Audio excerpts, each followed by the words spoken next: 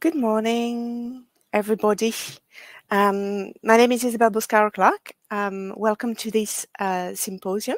Um, we have uh, this morning with us a range of scientists and uh, uh senior uh, leaders. Uh, some of uh, some of them are coming in pre-recorded format, uh, but we'll have an opportunity to have uh, question and answers uh, towards the, the back end and have a good discussion with the audience, hopefully.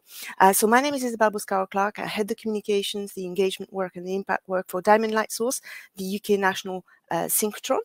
And um, I'm also representing this morning um, ExPaNDS and PaNOSC, uh, which are two uh, EU uh, grants uh, that have been funded to lay the foundations for open data at photon and neutron uh, sources um, that are that have been participating in in those uh, in those grants.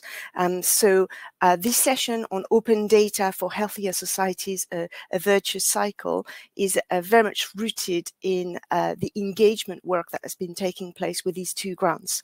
So welcome everybody. We've got three, as I mentioned earlier, pre-recorded sessions. Um, the first one will be uh, with Dr. Ben Perry. The second one will be with Dr. Claire Walsh, and the third third one with uh, Dr. Sam Horrell, um, followed by a question and answer sessions with Professor Andrew Harrison.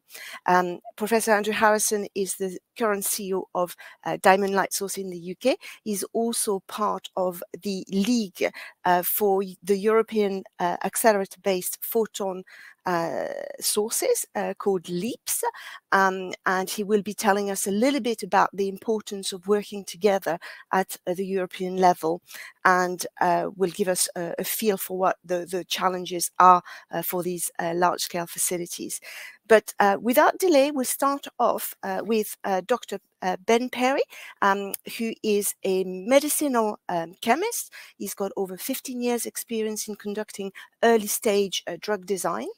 Um, he's got a variety of um, experiences ranging from having been at uh, academic universities doing research positions all the way through to biotech companies that have uh, really delivered um, early uh, drug design and drug discovery.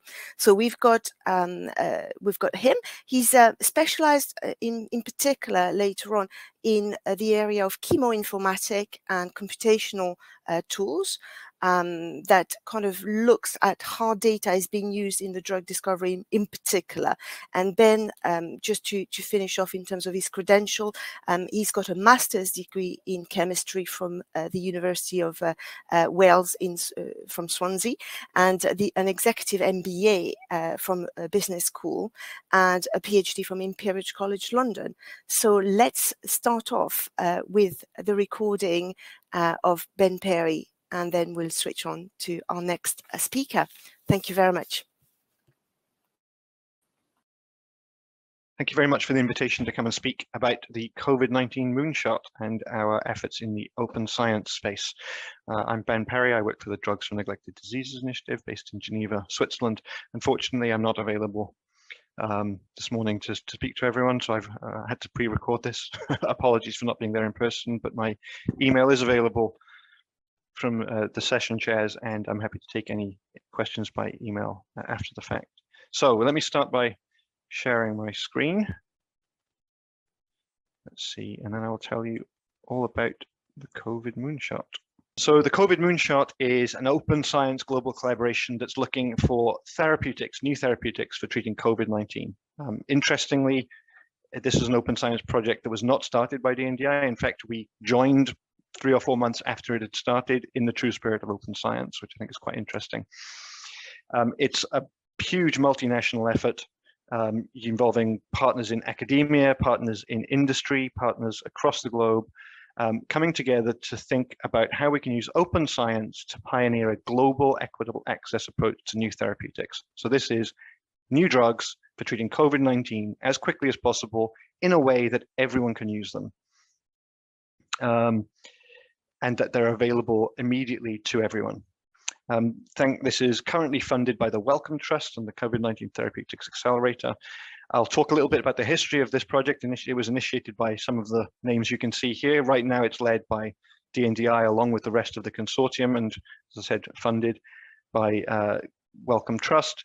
Uh, and the goal currently with the current funding is to have a molecule, a new treatment that's ready for evaluation in phase one clinical trials uh, as soon as possible and that can then be tested in advanced clinical trials against COVID-19 patients and hopefully become available to everyone. And interestingly, this is an open science initiative and therefore has no patent protection. And I'll talk a little bit at the end about how we have dealt with uh, the no patent protection question. So a little bit about the science. I'm not going to go into this in too much detail, but basically we're looking for new chemicals, which can become drugs that inhibit what's called the main protease of SARS-CoV-2. So this is uh, finding molecules, finding new, new, new chemical compounds that have never existed before, designing them to stop a particular part of the viral machinery from working. The viral machinery is called the main protease. Here's a blobby representation of it. Um, and if we can find chemicals that stop this from working, it'll shut down the way that the virus replicates. And therefore, when someone is infected with the virus, they can take the drug that does this. It stops the virus from working. And ideally, they have less and less viral virus available. The virus can't replicate, and they clear it clear it quickly and with fewer um, symptoms, so uh, you know, a, a low, lower impact of the virus uh, on the immune response. How do we find those chemicals? Well, quite complex. I'm going to skip over how, exactly how that's done, but basically it involves, at least at the, at the beginning, the team at the Diamond Light Source in Oxfordshire um, and the team at the Weizmann Institute in Israel working together to find what we call chemical starting points. They found chemicals that look like they may be able to inhibit the protein. They started to maybe interact with the protein, block the protein, gum up the protein in a particular way. And the team at Diamond found them, and the team at, team at Weizmann are able to show that it actually works and stops the protein from working. And they took their initial results. You can see here a timeline coming from early February was when the team in Diamond started working on this. They started to get what we call the, the first crystals, so the first pictures of what this protein looks like.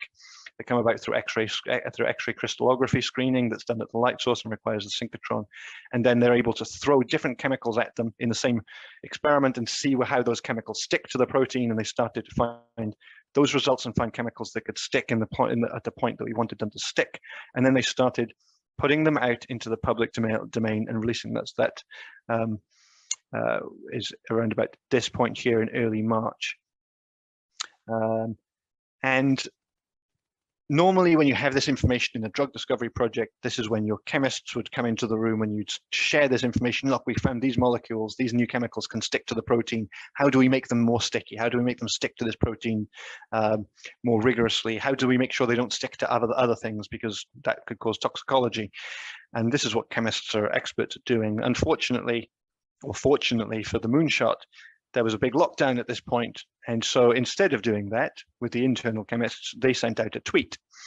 So Nir London at the Weizmann sent out a tweet saying, we've got all of these structures of fragments, which are these small molecules, bound to the to the um, to the protein. We've got the pictures. This is what they look like. We want ideas on what we need to make next. And so they put this out into the Twitter sphere, and very quickly, many people started to reply, including me.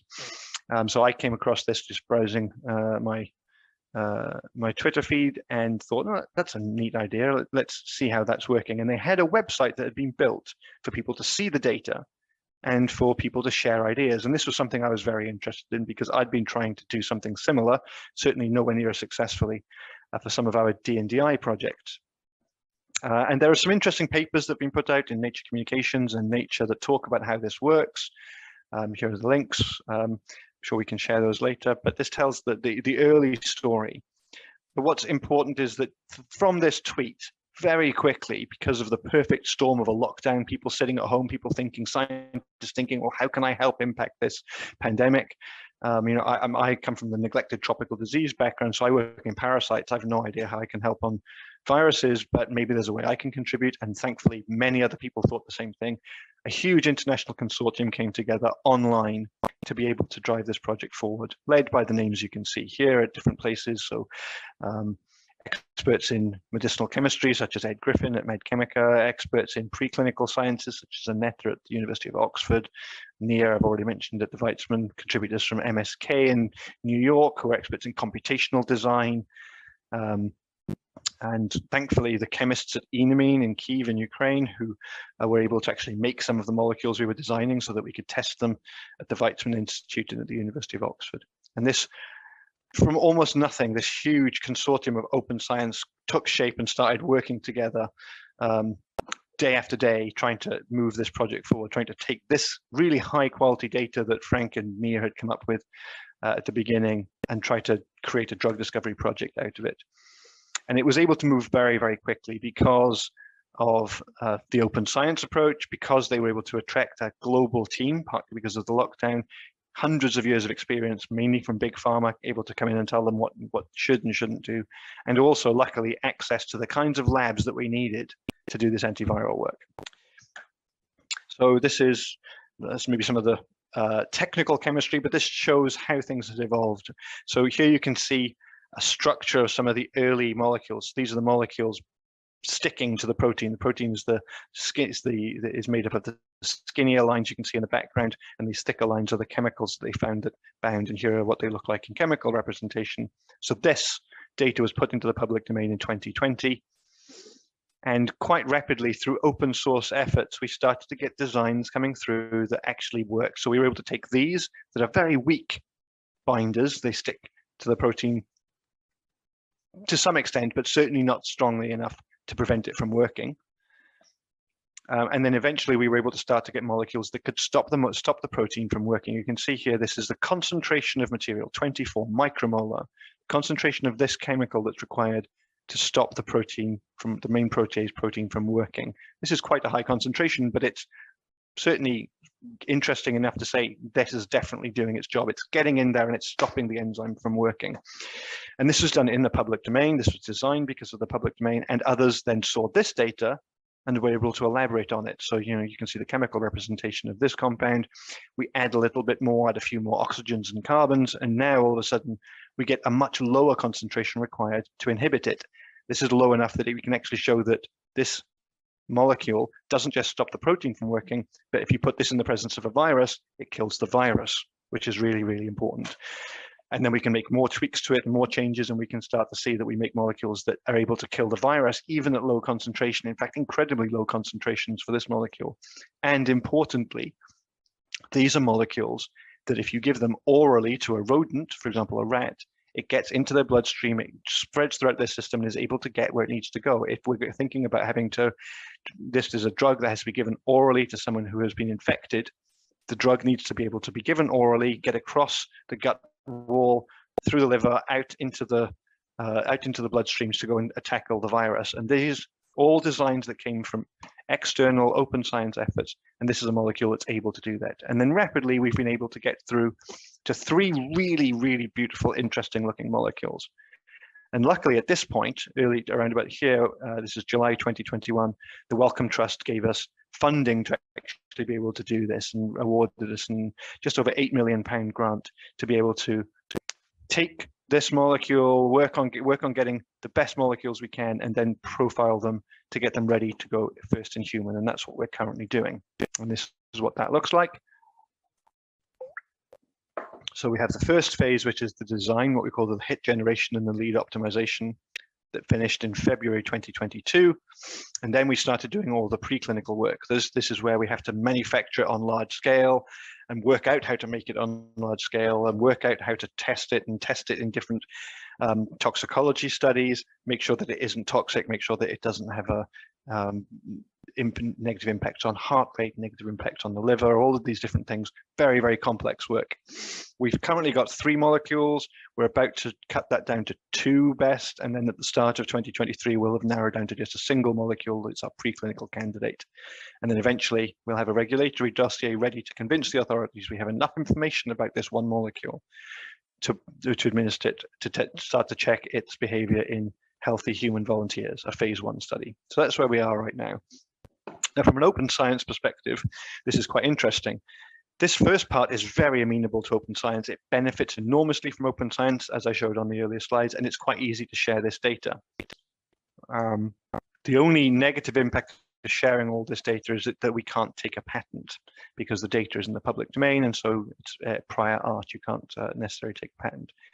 This part here is a lot more complex to share from an open science perspective. We can release some some information on what we're doing, but it's actually um, not that amenable to being shared in real time. Uh, the first thing is it's incredibly expensive, and so we have donors that have given us money to be able to do this, and we need to therefore to make sure we do it right and we minimize risks. And unfortunately, there are risks posed by sharing this data and sharing, in fact, the identity of those three molecules completely openly. Because if we were to share those three molecules completely openly, it would allow anyone to take those molecules and work on them, which is a benefit of open science. However, unfettered, uncontrolled access to those molecules and contributions, even with all the will in the world positive intention, can pose a major existential threat. We need to be need to make sure that any experiments that are done with these molecules are very tightly controlled and rigorously designed because any data that is generated by anyone anywhere will be assessed by the regulatory authorities. And what we do not want to do is have a rogue experiment, perhaps maybe not perfectly, uh, not not well designed, or perfectly run, or run at a quality that we cannot control, negatively impact what could be a huge, a, a, a, a molecule or drug of huge importance to, to, to the global community. So because we have funding coming from our donors, we have to make sure that we can control this. And that therefore makes this not necessarily uh, uh, uh, applicable to open science. And the other part of this that's frustrating from an open science perspective is that the more that we disclose about these molecules, the less likely we are to be able to eventually get this all the way to patient. And this is maybe uh, uh, the, the, the key crux of the open science for drug discovery argument, which is this. What we have here is a process that will finishes here, the phase one ready status. At that point, we have to start doing clinical trials and we have to start thinking about how we manufacture this molecule on a scale that allows it to be used as a medicine, which means building factories, which means training people to run those factories. Um, it is an incredibly expensive and incredibly complex process. And when I say incredibly expensive, we are talking in the many tens, if not hundreds of millions of dollars. Um, it is also very, very high risk only one in 10 projects that goes through that process in the pharmaceutical industry succeeds. The other nine fail for different reasons. So it's you're thinking if you're talking hundreds of millions of dollars per start per, per project and most of those are going to fail, this is an expensive process. And it also takes a long time and requires an, an, a level of expertise and know-how that is almost exclusively the domain of pharmaceutical companies.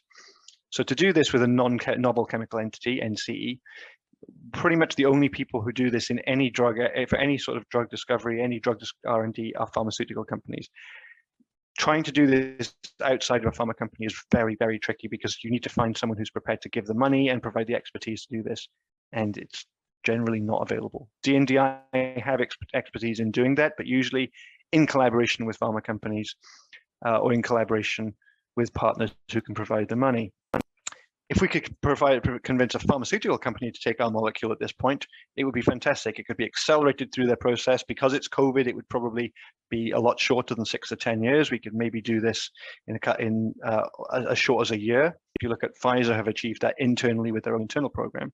The problem is that very clearly, pharmaceutical companies will not take a risk on a product for which they don't have an IP control. The molecule is in the public domain anyone can work on it. The pharmaceutical company is not going to invest its resource on a project that could be torpedoed by others or over which they cannot control uh, the eventual commercial use. And so this is the IP conundrum that we have to deal with. How do we deal with the IP that enables the development and the open science that we're using early on? And we're thinking about how we can do this, and we have a strategy team that are thinking about this at DNDi and within the Moonshot. Can we get enough global health funding to do this? Are there generic pharmaceutical companies, generic manufacturers that can help us with the manufacturing capacity? Are there clinical programs sponsored by governments that could provide the clinical capacity? And can we bring all these different pieces together to construct a consortium that can mimic the way a pharmaceutical company would do this? We don't have the answer for that, unfortunately, but we are working daily on trying to answer that right now. Um, and we hope to have that answer quite soon. And um, part of our motivation is not just the moonshot and COVID-19, but it's that the COVID moonshot team have been recently awarded a um, funding from the US government, the National Institutes of Health, and NIAID, uh, over $70 million to use this consortium approach um, to repeat this process that we've achieved on the moonshot and take it all the way through for other viruses and other viruses of pandemic pandemic concern. Um, so other coronaviruses such as MERS, looking at uh, other viruses that could become pandemics in the future and use the same open science approach we've used so far for the moonshot to deliver this uh, similar projects that can be uh, investigated for future emerging pathogens. So clearly this speaks to the success of the open science approach taken by the moonshot it works. We need to think a little bit more about how we manage the intellectual property approach, but our, our intention is to repeat this open science approach, put as much data into the public domain as possible without compromising those downstream developments. And this is a center that started life uh, last month after having received the funding. So that's my last slide. I hope that that's been useful. Thank you very much for the, your, your time and thank you, thank you very much for the invitation to speak to you about this. So very big thank you to Ben for um, this uh, great presentation and how really is uh, is really making the case for that early open science, uh, but also representing the challenges that are posed uh, by that approach.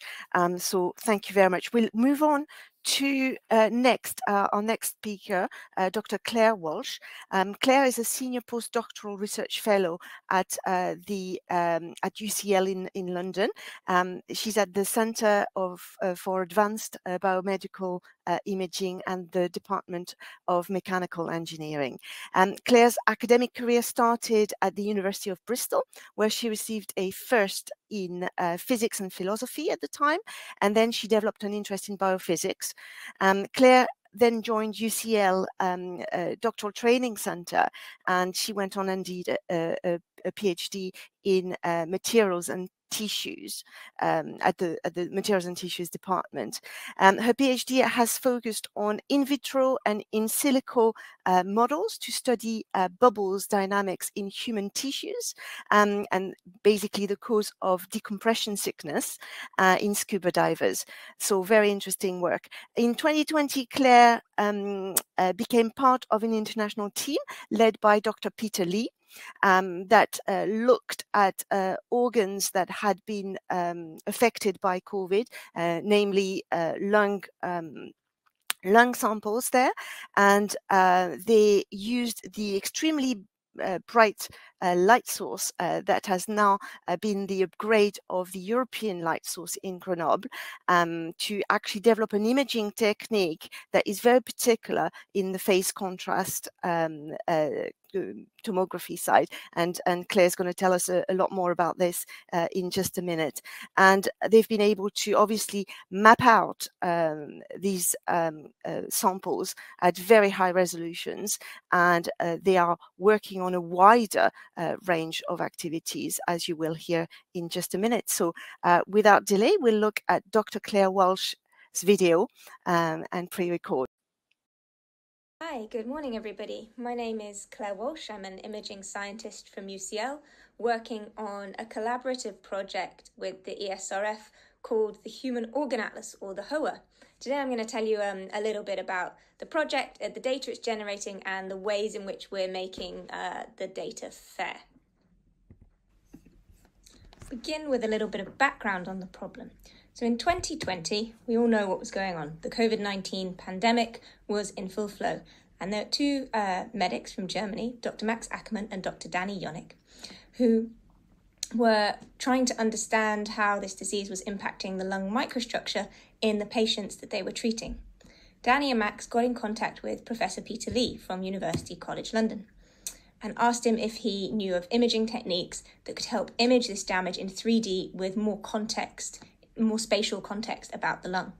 Professor Peter Lee has worked with uh, synchrotron and X ray imaging for many, many years, and he knew that the European Synchrotron Radiation Facility had just recently finished its upgrade to being the first fourth generation source in the world. So Peter Lee contacted Paul Tafforeau, who's the beamline scientist of one of the beamlines on at ESRF, BM18, and asked him if he would be able to help. So what came out of this was a technique. The technique is called HIP-CT, hierarchical phase contrast tomography. Now, HIPCT is a propagation based phase contrast local tomography technique. Uh, don't worry if you don't understand all of that. Essentially, we generate contrast in our imaging technique via having faint density differences in the sample, which create refractive indi- indice changes, and these are the basis of our contrast mechanism. What HIPCT allows us to do is to image whole intact human organs without sectioning them and then to zoom in to regions of interest anywhere within the organ and scan these at high resolution. So we normally scan at three of levels of resolution. We have our whole organ at about 25 micrometers per voxel. We then scan a region of interest at sort of a middling resolution, which is about six micrometers per voxel. And then we go to high resolution, 2.5, 1 to 2.5 micrometers per resolution. And at with this protocol, we've shown previously that we can reach single cell resolution in and inside an intact human brain. So to do this, firstly, there's some sample preparation here. We This is an ex vivo technique, so we're taking um, samples from organ donors, we're fixing them and we're preparing them for scanning. We're then performing our scanning. The scanning looks a little bit like this. So there you'll see a sample, a brain sample. It's being rotated, it's being uh, scanned tomographically for the whole brain. We then select regions of interest within that organ to scan. So what this ends up looking like is a bit of this. So here, this is a data set of a COVID-19 lung lobe um, imaged by one of my uh, colleagues, Joseph Brunet.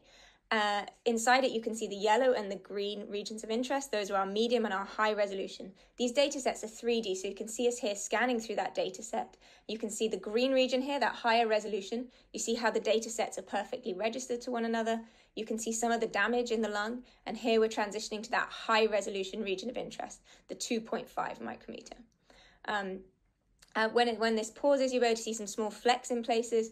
Um, we think these are individual um, cells. As we zoom back out, you see that you retain that hot context of the whole organ, and we can take as many of these regions of interest as we want. There are some, some caps on that, but we can take a lot of these different regions of interest within the entire organ. So what we have then is a technique that allows us to, to do this multi-resolution imaging across intact human organs. And what we realized very quickly was that we could apply this to the whole range of human organs. So we image at three resolutions. Our final images are all compressed in JPEG 2000, which is about a 10 times compression, but still we end up with these very, very large data sets. So our whole organs at our 25 micrometers are anywhere between 5 to 80 gigabytes. That's with the 10 times compression. We can have these medium uh, resolution regions of interest 20 to 100 and we can have the high resolution regions of interest 1 to 2 micrometers go anywhere up to 150 gig depending on how long a column of we want to image and as I showed you, we can have multiple of these regions. So it's very easy, as you can imagine, to quickly get a multi-resolution data set of an organ that's larger than uh, 1.5 terabytes. So it was a real challenge for us as to how we share this data, interact with this data um, with our collaborators. The project as a whole currently stands, we have over 23 um, institutions and 50 active collaborations worldwide, and this is growing every day. And you can see here some of the different um, the different groups that we collaborate with around the world. Um, and this creates a challenge, you know, trying to uh, move this data is difficult, trying to ensure collaborators have access to the levels of, of data they want and can interact with it in meaningful ways. So we also consider the fact that we, we don't just have one type of collaborator, we have many different types. So we have a lot of the medics who we collaborate with, image analysis analysts, biologists, medical illustrators, biophysicists, engineers, and all these people want to access and understand the data in slightly different ways and will have different resources um, available to them in terms of being able to handle the data and interact with it. So, what we really wanted was to create a way that all our collaborators, but also anybody worldwide, could download this data and interact with it in, in as many meaningful ways as possible. So the project, in order to do this, we developed uh, with the PaNOSC team from ESRF the Human Organ Atlas. So it can be accessed at this website. And I'm going to do a little video demo of this now.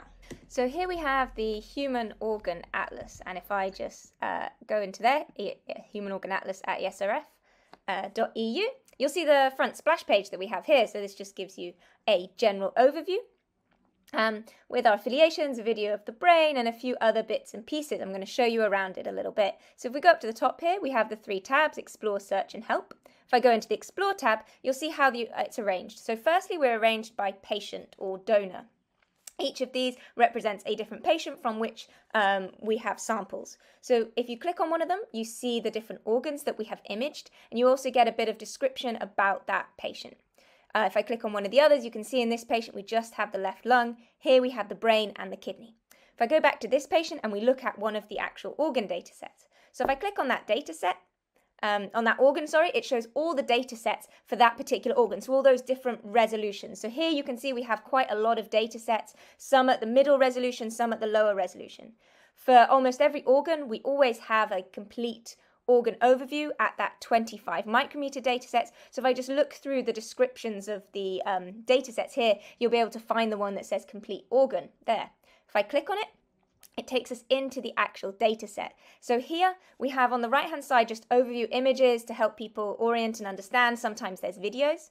We also then have the description um, of the data set. We have that description about the patient as well we have descriptions about the samples, and here we have all the scan parameters um, for the image acquisition, and at the bottom, all the parameters for the processing. On the right hand side, you have here the actual data sets that you can download. We provide them at different levels of binning um, to help people who don't have as much uh, capacity for the full data sets. You can also download the metadata as a, a text file if you want. We also support at the very top there, you can see that you could download the files with Globus. Um, this is really useful for those who can access it for a more robust, faster download. Um, the other thing that we implemented was this search tab, which is quite cool. Um, what it allows you to do, um, you can scroll through and search the data in various ways. So for instance, here I'm searching via age or sex.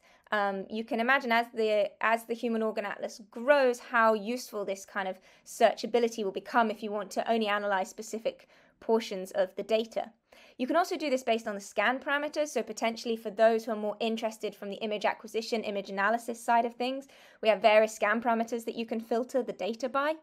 Uh, and then we also have um, this quite uh, cool bit in the middle whereby you can search by pathology. So for instance, if I type in uh, COVID into here, it will pop up all our data sets that are associated with patients um, who had COVID. Um, we can also search for different diseases. Already in the database, we have quite a few things. So, diabetes, for instance, um, there's some organs uh, there. If I click into one of these, this is the kidney, for instance, of uh, a patient with diabetes. Um, if I go back to the search again, um, can look for other things, something like cancer. So you can see as we get more and more um, types of pathology into the organ atlas, how useful this will become. We have, of course, a help tab just to, to help people uh, navigate around the organ atlas. That was the Human Organ Atlas. Um, and you can see how powerful it is. We're also uh, doing a lot of um, exciting new things in the future. So we're going to be adding a lot more data to the Organ Atlas. Watch this space. Um, we're going to be uh, trying to decide how to get better representations of the fully registered multi-resolution data sets and to do more automation of our metadata creation and our data ingestion just to be able to avoid any potential errors. The other thing that I'm excited to preview and show you guys today is that we're using um, interactive, we're developing a, a web browser interactive cloud. So it's based on NeuroGlancer. So this here is just one of our data sets um, and the NeuroGlancer interface uh, allows 3D visualization through uh, cloud stored data, so anybody can access this. We can also add annotations onto this. So here you can just see me adding some annotations for, I know, a blood clot or something like this. And you can add uh, three-dimensional and different shapes as your annotations. So this is really particularly powerful for a lot of our medical collaborators who perhaps don't have the um, infrastructure, the computational infrastructure to download and deal with these data sets. But nonetheless, it's incredibly important for our project that we get their interaction on the data set. So like this, without downloading the data, just with any web browser, you can do this on a smartphone as well. You can go to the data, interact with the data, mark it up for us, and we can have interactions with people like this. Um, so it's a really um, exciting new avenue that we're we're keen and excited to to develop further. So just to say that all the, the videos and methods and the data obviously are publicly available. We have a YouTube channel as well for looking at some of these data, the Human Organ Atlas, and we have our website. Um, and I just want to say a massive thank you to, to the whole team work on this project. It's a huge collaboratory effort, um, and we couldn't have done it without them. So thank you. Brilliant from um, Claire, uh, an amazing catalogue, and all this really thanks to quite a number of uh, sources of support, uh, amongst which is, is that really has made uh, the project um, happen uh, over the past uh, over the past year or so. So um, next, we're going to move on to our third pre-recorded speaker, um, and we will hear a little bit about pandemic preparedness again in a slightly different way. And this time, we've got Dr. Sam Horrell, um, who's from the University of Leicester initially. That's where he started his degree in medical biochemistry, and then he moved up to the University of Liverpool uh, as a joint uh, Diamond and University of, of, Liverpool PhD students. Um, he worked on the development of uh, long wavelength uh, phase phasing experiments, and he developed multiple uh, structure from one particular kind of technique, which is a one crystal technique, and he'll um, yeah he, he's been very successful at, at that. He has also uh, worked for the Hough Group um, in um, uh, at the University of uh, Essex, and he's also uh, spent a lot of time developing uh, instruments in Hamburg as part of his time at the Pearson's lab there. Sam joined Diamond uh, back in, I believe, 2019 and he uh, has concentrated on the development of serial crystallography uh, both in synchrotron environments but also at free electron lasers and as you will hear, Sam will tell us a little bit about the protein data bank in this uh, upcoming video, and he will um, highlight uh, the work that's been done on a global stage to improve it uh, during uh, the pandemic. Uh, so without delay, let's have a look at uh, Dr. Sam Horrell's presentation.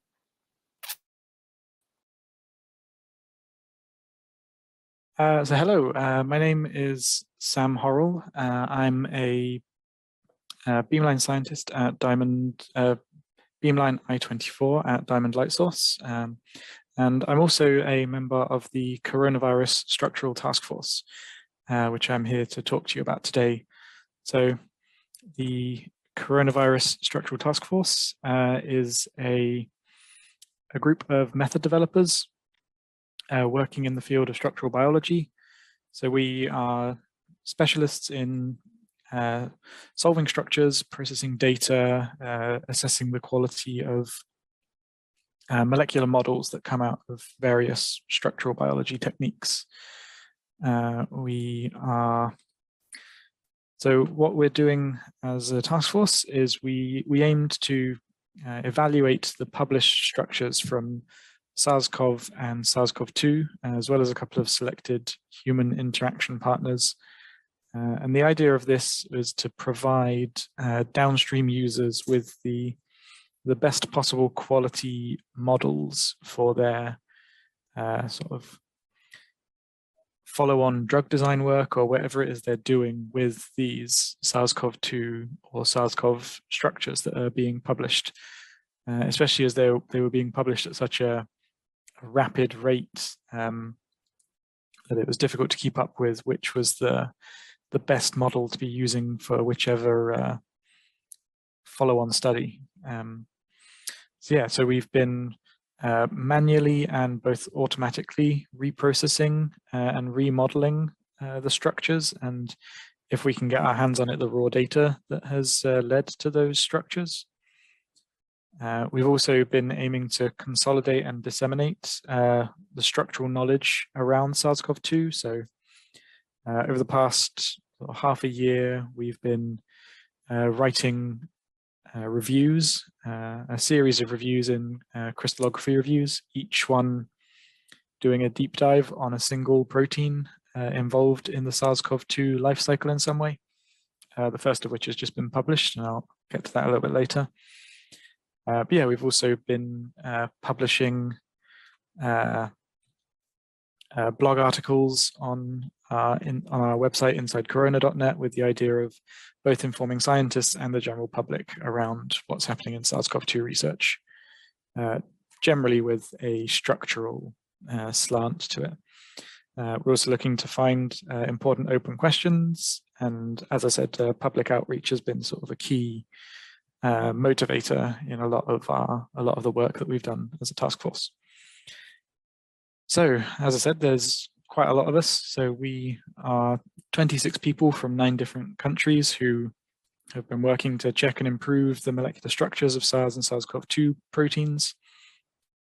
Uh, so this was all set up by uh, Andrea Thorn, uh, and then yeah, everything from uh, PIs uh, to sort of students and even one even one cactus has been involved in the task force.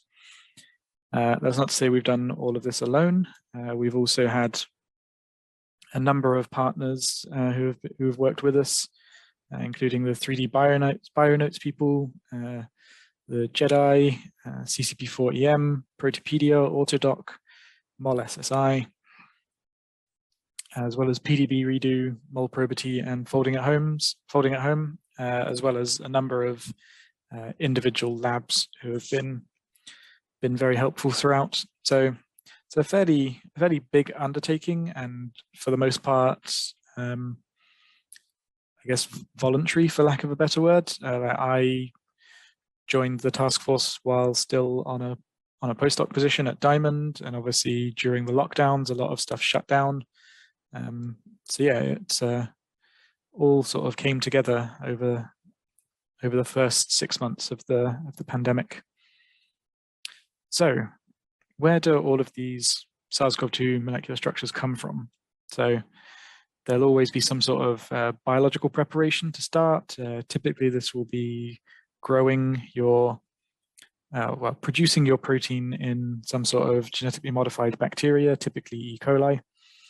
Uh, once you've got your purified protein, uh, depending on what type of data measurement you're planning to do. So with NMR, you'll grow your protein with some sort of heavy atoms. Uh, cryo-EM, uh, you kind of just have to get it quite pure. Um, crystallography, obviously, you'll have to produce a protein crystal from your purified uh, protein. And then once you've got your sample ready, done the data measurement, uh, you then move on to your model, which you'll, which I'll, I'll, go into a little bit more detail in a second about that. Once you've got your model, you can hopefully answer your biological question, although not always. Sometimes it just leads to more biological questions.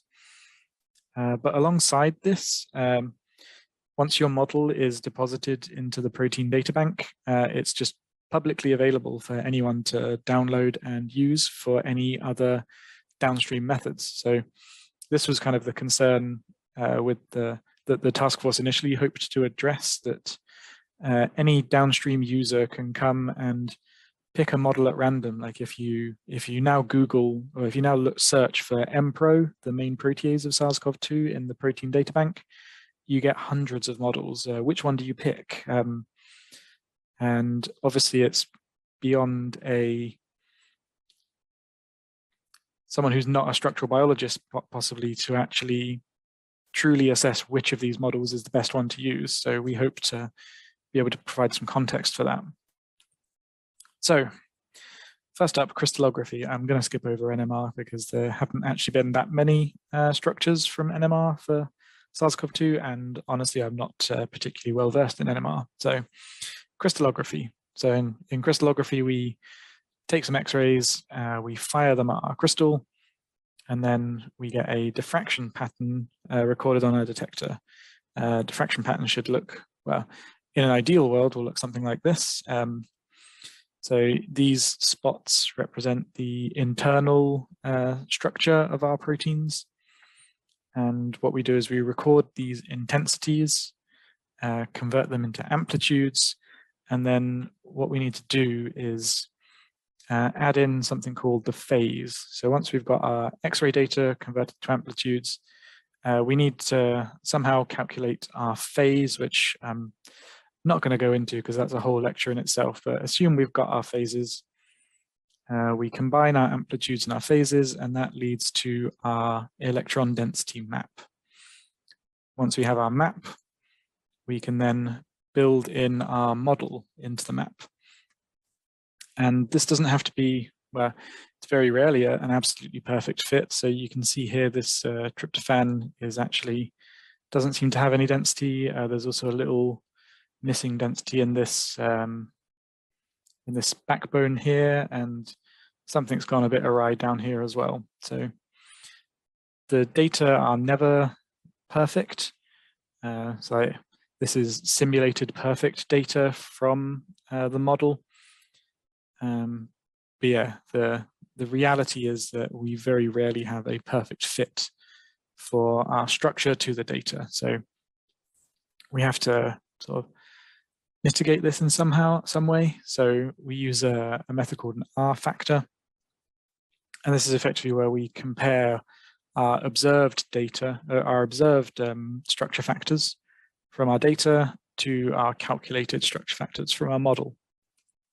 Uh, so a typical R value for a small molecule like a, a chemical crystallography project will be around 5%. So that's, that's very close to uh, a perfect fit. Uh, macromo macromolecules, unfortunately, are much, uh, much less perfect fits. So for an experimental map, uh, like we've got here, the R factor is about 20.4. So compared to our perfect uh, predicted map. So does my structure fit the data? Unfortunately, the answer is not really, but it's uh, we work with what we've got. So the other method, uh, cryo-electron microscopy, you fire a beam of electrons at uh, some uh, vitrified uh, proteins on a grid and then you record the images that come off. So you get your micrographs uh, with all of your particles, you pick out your particles from these micrographs, and then you do sort of a 2D classification to find all the different orientations of your molecules, and then do some 3D averaging to generate your map. Once you've got your map, you can then build your molecular model into the map in much the same way you, we showed with crystallography. And then hopefully that feeds into some scientific findings.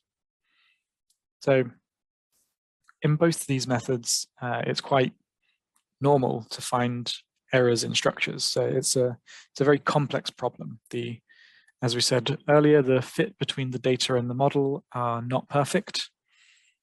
Uh, the, it's not yet possible to completely automate this process. Um, automation has come a very long way in the data processing in structural biology, but it still requires uh, human intervention a lot of the time to be able to fit our model into our into our electron density.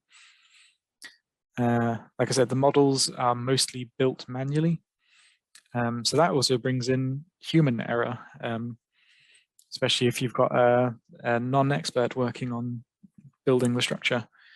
Um, and yeah, you need sort of expertise in many different aspects. Uh, so there's a lot of different types of software. There's a lot of uh, parameters to play with in all of that software. Um, so yeah, it's it's not an not an easy problem to fix. So what we hope to do as the task force is uh, provide a pipeline. So we harvest our data from new PDB entries that come out every Wednesday uh, as well as the uh, proteome and sequences and various other databases. And like I said, if we can get our hands on the raw data, uh, that's the, the best because we can do the whole thing from scratch. Um, then once we've harvested the data, we go into automatic evaluation.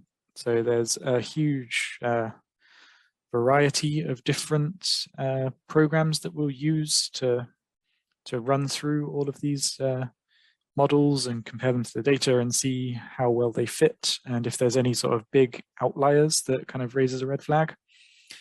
And typically, whenever we do get one of those red flags, uh, we'll manually reprocess uh, if we can uh, from the very start with the raw images, but if not, we'll do the best we can with the uh, model and the maps that are deposited in the protein data bank. Uh, and then once we've gone through the automatic and the manual evaluation, uh, we go on to dissemination. So we have a GitHub, which hosts our database of all of our reprocessed structures. Uh, we also post on Twitter, uh, 3D bionotes. We put out 3D models. Um, I should also say when we do find a problem with a structure, we contact the author and try and uh, get it, get them to resubmit uh, a new, a new version. Um, so yeah, so like an example of stuff that's come out of the automatic pipeline uh, from uh, 999 depositions. Uh, yeah, there was various completeness problems, uh, high R, R freeze, uh, twinning, uh, all, all manner of sort of metrics that could lead to a potentially problematic model. And just got a couple of examples here. So this uh, zinc site not being modeled correctly, uh, this proline was in a trans state instead of a cis. Um, this ligand sort of doesn't actually appear to be there. Uh, this glycosidic bond was uh, in the wrong orientation. And looking at this like Ramachandran map, you can see all manner of outliers present. Uh, so this is a, just a screenshot of our database. Um, so like I said, it's got a, you can filter it by the protein, the description of it, uh, and we give sort of the kind of standard statistics that you'd look at to find uh, a good model. Uh, we've also been writing reviews, so this is the first one that has been published uh, just recently. Uh, this focuses on NSP15, which is a lesser known protein, I would say. It's uh, not one vital to the life cycle, but it could still be interesting to someone somewhere. So yeah, there is a, a review on that if you would like to go and find it. Um, so as a summary, um, in order to understand the virus and its life cycle, we aim to understand its molecular biology. Um, and we hope that this will help with the design of therapeutics. Uh, we've evaluated these structures with a bespoke pipeline as well as expert knowledge. And we also hope to provide context uh, about the structural biology of the vi virus to identify research objectives. Um, you can read more about the task force in uh, this paper, uh, Making the Invisible Enemy Visible, uh, which is available online in open access. And then I'm just going to finish off with a little bit about the outreach that we've done. So we have a, a 3D printed version of the virus. Um, we've also been, like I say, posting on Twitter, making YouTube videos. Uh, I've live streamed some of my reprocessing uh, on Twitch. So you can see us working on the structures live. Um, we also have the coronavirus blog, which has yeah everything from uh, scientific discussions within structural biology to sort of more general public friendly uh, ones. Uh, this is just a picture of the 3D printed model. So this is a, a structurally accurate 3D printable file uh, for the coronavirus. So we've got the, the spikes and all the membrane proteins, um, which you can download and print yourself. Uh, it doesn't come painted, you will have to do that yourself. Um, so yeah, so that just leaves me to acknowledge the people that have helped us. Uh, so Thomas uh, Splettstoesser, uh, who works at scistyle.com, he's helped us with a lot of uh, the beautiful pictures of the coronavirus proteins. Uh, there's also the animation lab in the, at the University of Utah, uh, Gianluca Tomasello from the 3D protein imaging.com. He's also helped with a lot of figures for the reviews as well as all the task force members and uh, Arwen Pearson in particular at the University of Hamburg.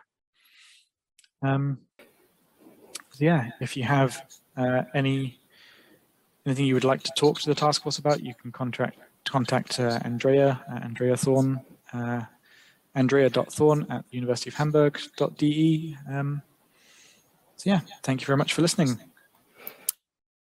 Big thank you to uh, Sam, um, who clearly kind of talk, uh, talked us through uh, the complexity of the data and actually the different layering of, of data that is required to, to make truly the structural biology uh, completely uh, open um, in that way. So next, uh, we will be turning uh, to uh, Professor Andrew Harrison. Um, professor Andrew Harrison is uh, a professor from the University of Edinburgh. He's a chemist as a background. He's evolved at a senior level at various large-scale facilities across Europe, in particular the neutron source uh, in, in Grenoble, uh, where he was director of science and then director general there, um, and then moved to Diamond some kind of nine, nine years ago. And next, he will be leading the science programs for ELI, the extreme light uh, infrastructure um, in Hungary. And uh, Professor Harrison, you're here to uh, represent the LEAPS um, uh, collaboration. And um, if you don't mind, we'll just um, kind of like get you to, to talk a little bit about what LEAPS is all about. So LEAPS is the League of European Accelerator-based uh, Photon Sources. Um, and just tell us a little bit about LEAPS and why uh, that group of people is, is really important. Th thanks, Isabelle. Pleasure to be on on here and, and have the chance to talk talk about Leaps. So yeah, Leaps um, brings together every single accelerator accelerator based light source in Europe, all the synchrotrons, all the free electron lasers. It started about six years ago, um, driven primarily by the belief that together we can be much more effective in developing technology, in sharing best practice, and also um, uh, representing um, the strengths of of the of the science that we support and so forth. So a, a group that can speak as one voice to policymakers and and funders. Um, and in that time, I, I, guess among the key achievements have been to develop a coherent roadmap as to how we ought to develop across Europe. You know, we we generally tend to do this individually. Um, and we tend to do very similar things when we develop roadmaps. You know, what what are the scientific objectives? How we meet, do we meet them, and so forth. And that process has been speeded up and made far more far more robust by sharing information across facilities. And then when it comes to talking to, um, let's say, the European Commission, again, we can speak with one coherent voice about um, the, the, technological needs that we might wish to develop, um, about influencing um, uh, decisions on funding programs and so forth, rather than the commission or, for that matter, any other policymaker having to go out and talk to all, all the members um, individually.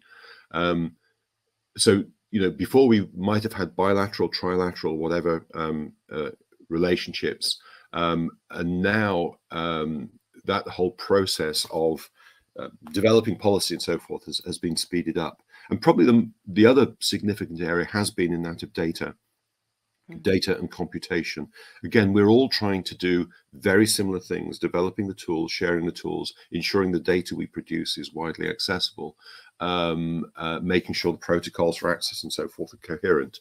And it's a perfect example of where we should all be trying to do absolutely the very same thing and I guess it's not just a, a European problem. Uh, I think also you've got the, the community, I think, represented by lightsources.org um, and Lens, uh, who are the, the kind of global voices uh, for these two photon and neutron uh, communities that are, are, are, kind of linking up there. Can you tell us a little bit about that, that global challenge in that sense?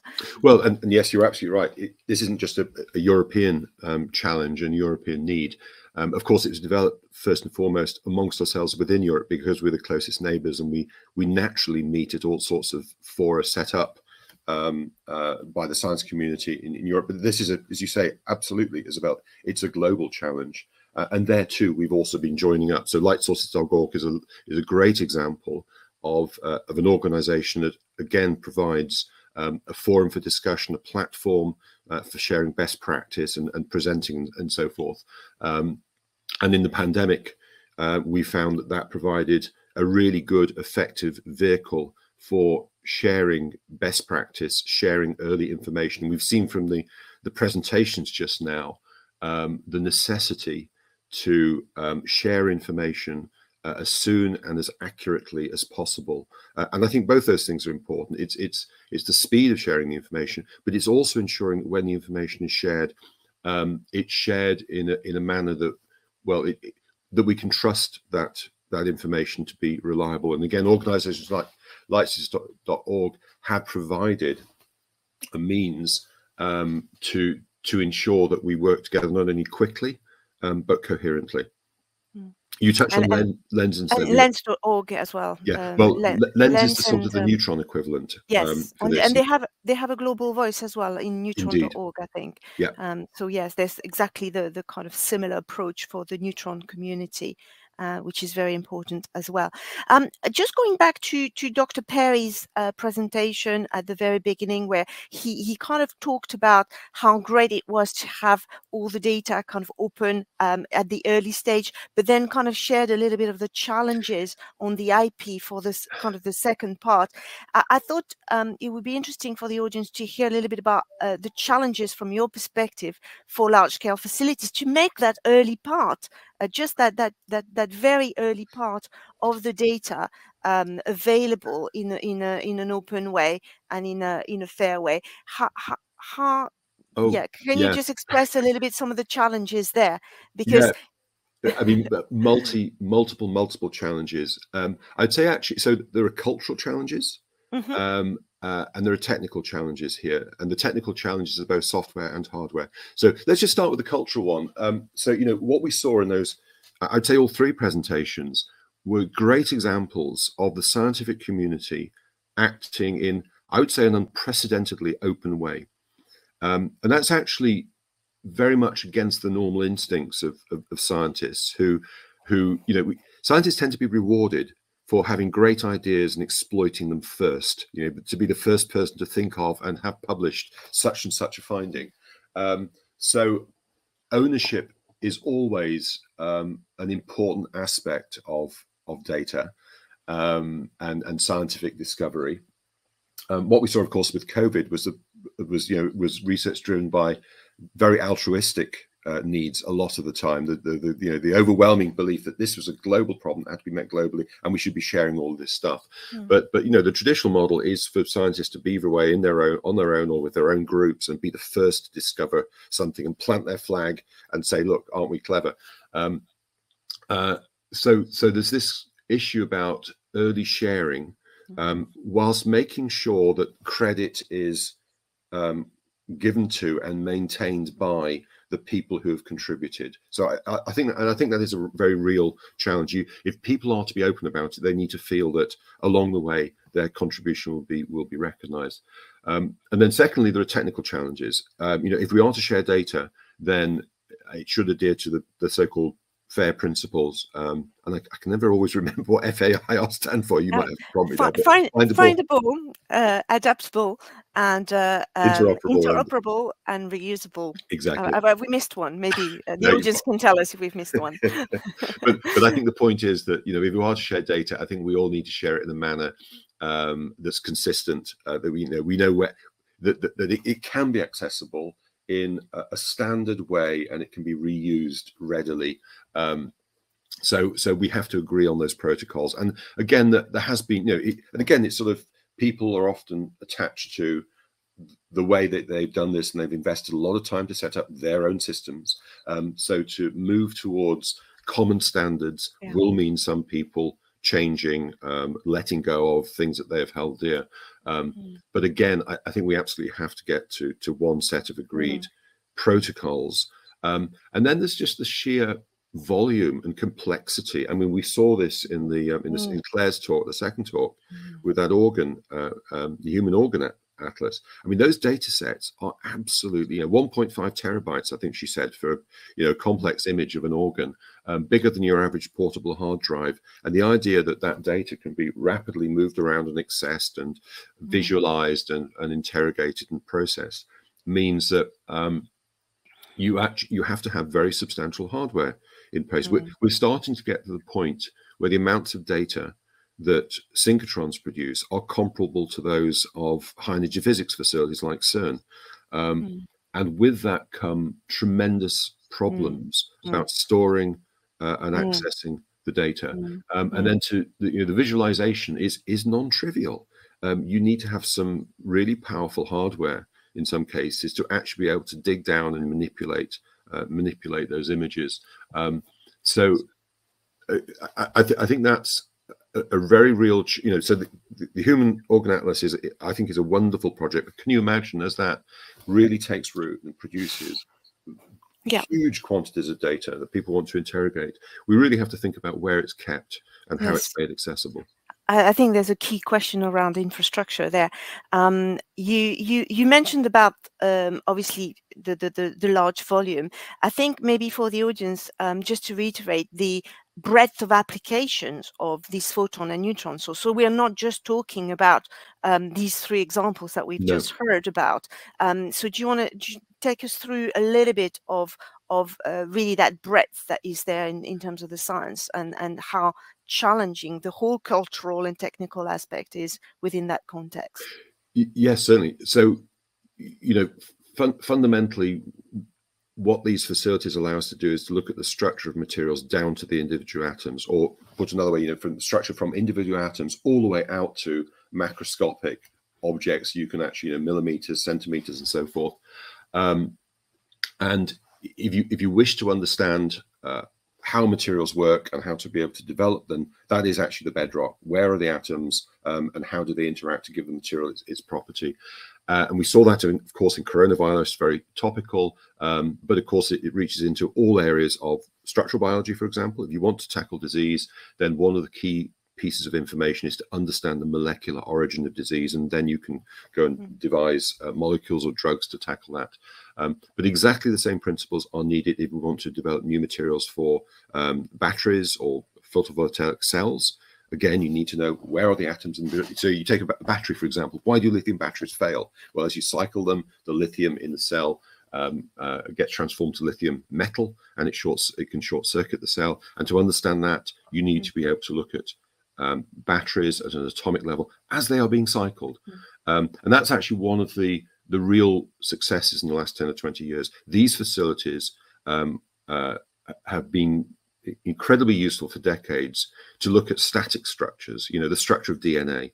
Um, uh, for example, the you know the famous photograph of Rosalind Franklin, which was which was then gave gave us our first um, uh, direct information about the how the genetic code is passed on. Um, nowadays, we can look at structures like that actually as um, the material is in a system that's being that's being being used. The, the, cycling battery, the materials that are being deposited in advanced manufacturing processes, and so forth. Um, so we touched on life sciences. Mm. Um, uh, materials for advanced technologies, but actually all the way across into, into archaeology. You know, if you want to understand how our um, predecessors uh, fabricated tools, um, or if you want to unearth, well, I mean, we just heard, I think, this week of uh, a, new Van Gogh being discovered underneath the, the, mm. the, paint of you know what we what we see as a painting. Then these tools also allow us to look below the surface to interrogate um, the materials of which um, artifacts were made, and also tells us about how to mm-hmm. preserve them. So, mm. yeah, structural biology, drug discovery, uh, high tech materials, all the way across to um, uh, to mm. cultural mm. heritage and, and and archaeology. Yeah. And, and, in quite in high numbers. I mean, I, I, seem to recall the, the, the last tally of, of the user communities uh, was around 25,000 uh, researchers. Um, um, so we, we, the task is is huge. And and with uh, you know it's it's uh, maybe a kind of a typical uh, uh, scientific approach with with a huge problem you have to decouple that into smaller nuggets of, of of things. And i think what was good in the three talks that we had is that that attempt to tackle one particular area and then try to to to kind of like do what you can for that that particular um, uh, area of science. Um, you know, I'm just thinking about the Organ Atlas is is a great initiative, and it will grow, and it will. It's but it's very focused on on on a particular technique and a particular um, health application. But you could have that reproduced for all the museums worldwide who have their collections in high resolution, for instance. I mean, we know we've had interest from the Natural History Museum here in the United Kingdom um, for oh. um, oh. having beetles kind of uh, measured yeah. up. But you can see how this idea can actually permeate other disciplines as a result. Uh, but obviously, you, you, can only do one thing uh, at a time, um, which is uh, which is really important that we don't to just spread ourselves uh, a little bit too thinly there. Um, Mm-hmm. Carry so. I, was just going, but th- Yeah, there just you can harness. there you can harness the, wider scientific community. So as long as these people um, are aware of and can appreciate the power of these tools in their own work, Mm, mm. um, once they're converted, they tend to go away and and exploit these tools themselves. The, the key thing is the outreach, isn't it? Is is is making people aware of the power of these tools and Mm. also give them the initial training because Mm. people come in um, without necessarily being able to um, take the data or process or whatever. But once you've gone through that step of outreach and training, then away they go and they just they exploit Mm. these these Yes. tools for themselves. Very good. Um, I'll start weaving in some of the questions from the audience, if you don't mind, Andrew. But Sure. um, um, obviously, there's been a lot of talk about the European Open Science Cloud, EOSC, um, and um, we've been obviously, uh, as ExPaNDS and PaNOSC are, are kind of laying the foundation for the open data at Photon and Neutron Source. What what did you do you see uh, a plan to integrate everything that we are doing under EOSC? I think maybe we should start with just the basic question: What is EOSC, and actually, what gosh. is the ambition of EOSC? Because in that way, we've just been touching on those themes of if EOSC is an infrastructure, then technically they could help deliver what we've just been talking about, or if they are just um, an umbrella uh, of of um, you know it really depends what EOSC's ambition is all about. I think on that question. So I don't know, Daniel, you might want to uh, to think about um, what you'd like EOSC uh, to be, because I think that would help us almost to actually paint the the possibilities of these things being plugged into E EOSC. So, so Isabelle, I, I, you probably not picked the right person to to expound on on, on EOSC. Um, uh, I'm only sort of tangentially aware of it. Of course, you know, it, it's involved in in in providing the framework within which we will operate. Um, for example, encouraging setting up those protocols. Um, where, but but of course, there is the the the the very substantial problem about how you provide the compute power. And at the moment, that's very much um, funded through national um, uh, initiatives. Yeah. I think the trick is really to try to join up to confederate the national um, Mm. initiatives. And again, a lot of that comes down to ensure that they're interoperable, that when you um, take data, it can be moved across platforms and the the the software tools that you develop to act to to to um, to exploit that data is, is again operable um, seamlessly across, across those platforms. Um, how far it has got with that, I'm, I'm, I'm really not the Mm. person to ask, but I think the ultimate ambition to join national initiatives um, and make it one whole uh, across Europe is, is, is absolutely essential. Absolutely, and I think it goes also beyond Europe because we've talked about these problems are, are global. Yes, but I think it'll be it'll be lovely to see EOSC being the leader in in in that way, in providing you know the infrastructure to to deliver uh, to deliver those services really to uh, the user communities. But I think there, um, I don't know if you'll agree, Andrew, but I think there's a lot of challenge on on the breadth of science that we've just talked about and the finances that will be required and which one needs to be prioritized over another you know there's a prioritization exercise that will be required around uh, making that infrastructure a reality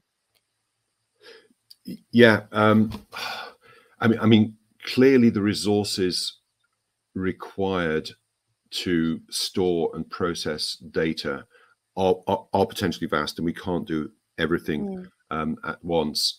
Um, I mean, for, fortunately, however, it comes back to the point I tried to make earlier that the measurements we take, in a sense, are generic. They involve looking at structure, primarily looking at structure down to atomic levels. So, um, so there is a commonality in the nature of the data and many of the processing tools that we might need. I'm just sticking with Mhm. synchrotrons and, and Mm. um, FELs for the moment. Um, so I, I think actually where where you have a potentially vast user base, um, it won't where, where the selection criterion usually is based on excellence of science, access to that data. Um, I think we will continue to use that as as as the means, if you like, of prioritizing um, uh, who gets access and, and and so forth. So, um, but but nevertheless, I think we you know we we we're, we're getting to the point where the resource required to do this is beyond our individual budgets. Um, mm. it, it, used to be the case that people came to take data from large machines like this, and they just they just took it away from them initially on a floppy disk and then a, a, a CD and, and increasingly hard drives. Um, we're at the point where that's no longer viable. Mm. Um, they they can't just go back to their universities and process it. We're having to centralize the way in which this is done, and it mm. it is becoming the responsibility of the large facilities mm, um, mm. to do this, just as you have the sort of yeah, various tier yeah. level computing, the high energy yeah, physics, and so forth. And um, the question about who pays for it um, has been posed, but it hasn't yet been been answered. Mm. So, so when you look at the future of these machines, you know, Diamond is going through an upgrade at the moment. Um, that upgrade is pointless. Um, or rather, it's it's poised to go through an upgrade. Uh, that upgrade is pointless unless you put in place the complementary compute um, uh, facilities, and the resource required for that is also immense. Mm-hmm. No, absolutely, and I think um, from uh, Daniel's, uh, so Daniel kind of asked us if there are plans to integrate what, what we've just presented. Uh, the answer is yes. yes. I think what what we have done with uh, ExPaNDS and PaNOSC has been to develop um, uh, really search APIs into some of the catalogs that we've just seen and create a feed to B2Find, which is already um, a kind of a uh, an EU run service. Um, so there, there is that um, happening at the moment. But I think where we need to be and, and I think you touched on that, Andrew, uh, with the tomography community, where you have huge volume volumes of data um, that are uh, being uh, made uh, open, you need to ask yourself before you make them open, you know, what is useful for the user community? Is it is it the raw data in terms of uh, yes. the, the single scans? Is it the reconstruction? Is it going to be, in this case uh, of tomography, is it going to be uh, maybe more thinking of reducing the data to make it more manageable? So I think there are a lot of big uh, both technical and cultural questions uh, to to be asked about that. Um, do you want yeah, to on, on, that? Yeah. I mean, I mean Claire, Claire's presentation was fascinating because she she shared with us these beautiful 3D images, but mm. you know behind each of those mm. there's a vast amount of compute power, and as you say, there's a there's a there's a very very big raw data set which is then transformed um, in a very compute intensive way to, mm. to produce these images. Um, and and again, there are, there are, a number of challenges there. One is that you know the, the time taken to do that transformation. Um, it looked you know it looked lovely and tempting in, the, in those images we saw on, on, on the screen, um, but there is a huge amount of, of number crunching that goes into that. And then, as you say, once you've got that transformed image, is is that is that the prize? Is that the the, the goal? Um, to, for many people, it is. But just supposing you you discovered an error in the in the in the um, you know, heaven forbid, but you know, an error or a better way of processing it, um, you would want to go back to the raw data. But if the raw data sets are so vast that it's very difficult to store them indefinitely, um, uh, then you know you, you have to make a decision about which you know what data you keep. Um, and, and when you go taking the case of high energy physics again, you know the data sets in high energy physics um, the raw data is is is absolutely vast, um, but there are ways of choosing which bits of data to keep and which which which to reject. And I think it's only one part in um, many billions of of you know uh, bits of data that's kept. Um, do we continue to do what we do at the moment, which is is is keep every single pixel um, uh, which is is the case, I think, for pretty much all synchrotrons? Or do we say, as these data gets, sets get too vast, actually, once it's been transformed into the manner that we we, we believe we wish to use it, mm. we discard the raw data and, and we move on? Uh, th these are all really important questions. Mm. Mm.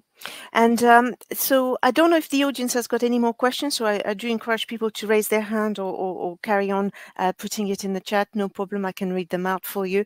Um, but from my perspective, just exploring what the next steps are going to be with you for a minute, Andrew. You mentioned the cultural challenges, the, the technical challenges. I think, um, if I may kind of comment on on ExPaNDS and PaNOSC, uh, they've been two very pivotal grounds really yeah.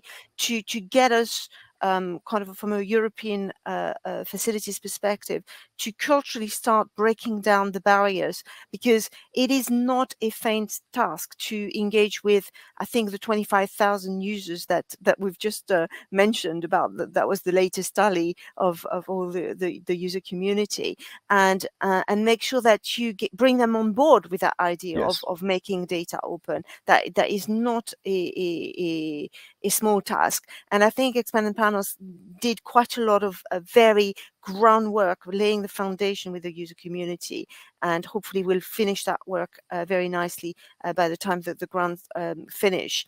Um, but beyond that, they also started looking at the technical challenges and mm, looking at the, the the kind of what they could actually make available in terms of the different pipelines.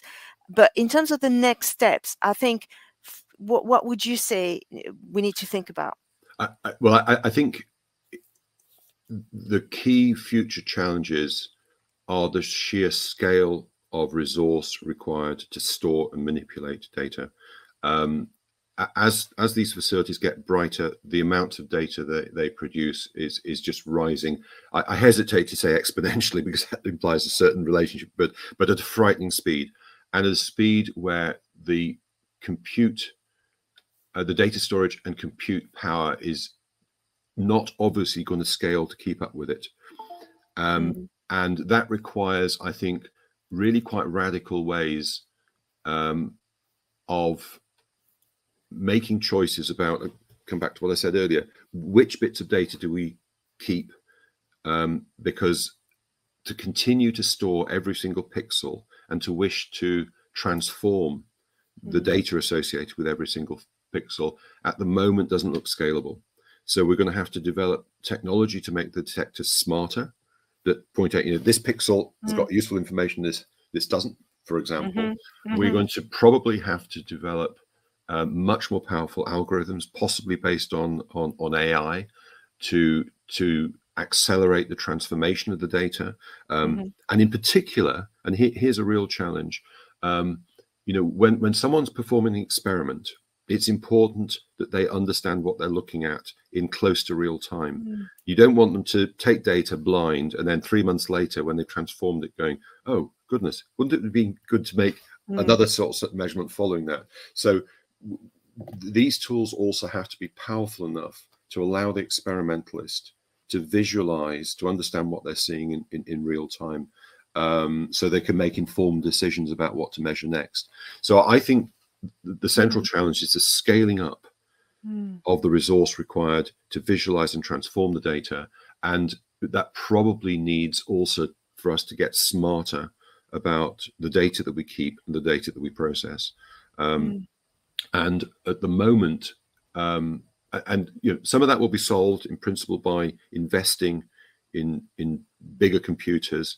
Um, but you know this is this is a very expensive process and it's mm -hmm. also let's not forget too that compute means um, compute power is associated still with increased carbon footprint mm -hmm. um, and we, mm-hmm. when we look at these big machines for science yes they cost an awful lot of energy to run um, but increasingly the lion's share of the the energy cost of running these facilities mm -hmm. is actually in the compute power so i think again we've got to think really hard yeah. about how we control that um, and, and, and keep that aspect of the delivery of science to a minimum. Mm. Very good. I, I, uh, completely um, uh, agree. I think that scaling element is, is really huge. Um, I, am I'm, I'm kind of thinking kind of creatively as as you were talking. Um, I mean, from from that kind of scaling perspective, we, have got a huge um, lesson to learn from the high energy physics there. Because I mean, uh, I think correct me, uh, yes. the audience can correct me if I'm wrong, but um, I think the likes of uh, CERN do churn out about 150 petabytes a year of data. So they are the kind of like the I think the experts in in that kind of high level, huge amount of data uh, coming through. I think the synchtrons, the light sources community alone represent just only about 10% of that per year. But as you said, on an exponential or, or not yeah. quite exponential track there. But uh, for me, there's a lot of best practice maybe next that could be explored uh, between the two um, as to how do they do their data reduction, how do they go about um, manipulating and revisiting the data. Um, and I think specific programs uh, based on what you've said around the data reduction seems to be absolutely a priority for the range of communities. So not only just the tomography community, obviously because they are the heaviest data community, uh, but looking at the crystallography, the pandemic preparedness uh, uh, work that we've just seen, all of that needs to be kind of um, almost looked at with the lens of data reduction. Uh, straight away, and there should be really initiatives to to underpin that uh, next. Um, uh, yeah, one of the great successes of CERN is that it's a global coordinated mm. effort, isn't it, in data yeah. reduction with the tier system and so forth. I'm by no means an expert, but but it comes yeah. down to let's have agreed standards and let's work together mm. on developing mm. common tools to to to handle and the data we're producing and I think you said the word standards. I think standards are are critical. So far, I, I, don't think there's been a lot of involvement of the international standards labs into the conversation of the digital agenda. No. And actually, there should be there should be more. So that could be a, a third strand to to to the future future steps there. Yes, absolutely. We, we, we've we've sort of at the moment we're essentially self-regulating. We're doing this ourselves, but but mm. you know, mm. um, and and the, the feeling is that you, you bring all the synchrotrons together. That's a substantial community, but these very same uh, challenges are also being discussed in other um, mm-hmm. collections mm. of infrastructures and so forth, and they have essentially the same mm. generic problems when yeah. it comes to standardization very good. So I think thank you, Andrew, for for your input. I think uh, I'll thank also the audience. Uh, unless there are any more questions uh, coming through, uh, if people want to raise hands, as I said, uh, please do so. This is your final uh, final call.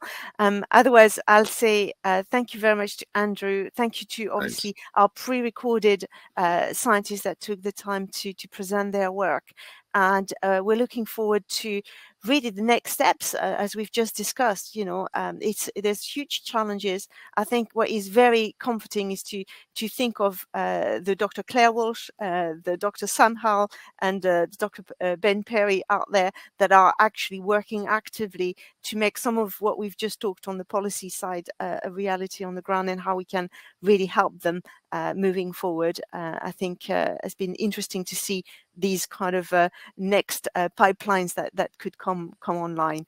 Um, so thank you very much, everybody, and I hope you have a good day and a good session at ESOF uh, next. Thank you very much. Thanks, Isabelle. Bye bye. Bye bye.